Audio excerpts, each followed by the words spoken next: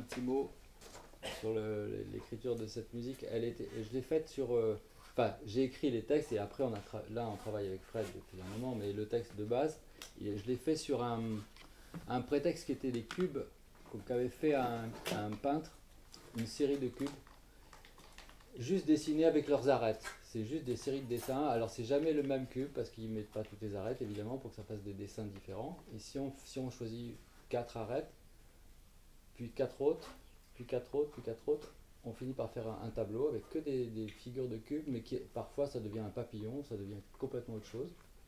Donc c'est très beau. Et ce qu'on m'avait proposé, c'était de, de- traduire ça en musique, d'essayer une traduction en musique. Voilà, donc ce que vous entendez, c'est un peu ça.